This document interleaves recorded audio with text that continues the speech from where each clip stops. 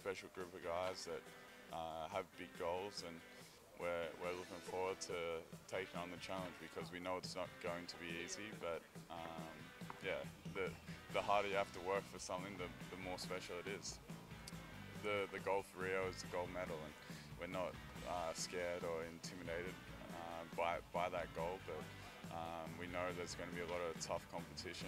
Uh, all, all the teams at the Olympics are, are tough and every game's going to be tough, but uh, we're, we're, looking forward to it and we're confident that uh, the group we have that's been together for a number of years, that's grown together, uh, a lot of us grew up at the Institute of Sport together, um, that, that, we can get the job done. Playing in the NBA the last few years and uh, everybody else uh, playing um, in in the NBA or playing in Europe or you know having that international experience, uh, we're, we're not intimidated by anybody and uh, we, we know we can match it with anyone.